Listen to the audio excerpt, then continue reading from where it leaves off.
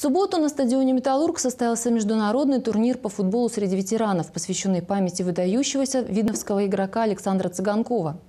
С момента гибели футболиста прошло 7 лет, и все это время его коллеги и друзья ежегодно организовывают эти соревнования. Но не только для того, чтобы почтить память о своем товарище, а чтобы быть примером для юных футболистов. Подробности в репортаже Юлии Погосян. Свой путь к спортивным вершинам Александр Цыганков начал еще в юном возрасте. Играть в профессиональный футбол он учился в детской спортивной школе ЦСКА. Сменив за свою жизнь немало футбольных клубов, последним для него стал Видновский ветеранский клуб «Металлург». Долгие годы он был его капитаном и бесспорным лидером. В нашем городе, ну, а то и в районе, даже, возможно, в области, это ну, стопроцентная комета, которая оставила след ну, в пятерку лучших игроков видно, этот человек возглавляет 100%. Он играл и в команде мастеров и Кривбаса, и еще в нескольких э, чемпионатах СССР. Очень техничный, очень подвижный человек, отличный. Семь лет назад по инициативе Владислава Рымши, зятя Цыганкова, впервые был организован турнир, который теперь стал традиционным для нашего города.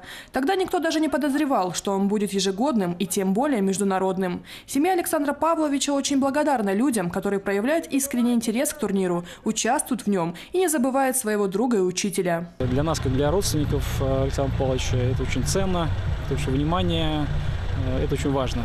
Есть так, так, такая поговорка, либо пословица, да, пока человека помнит, он жив в наших сердцах. Поэтому для семьи это очень важно. Победить в таком турнире – это особая честь для каждой участвующей в нем команды. И лестно, что из года в год выигрывают видновские ветераны. На этот раз первое место взял Исток. Ее капитан Алексей Исаев – ученик Цыганкова. Именно дядя Саша в своем время научил Алексея азам футбола. Победа для нас значит много. Мы все его помним, и все победы посвящаем ему.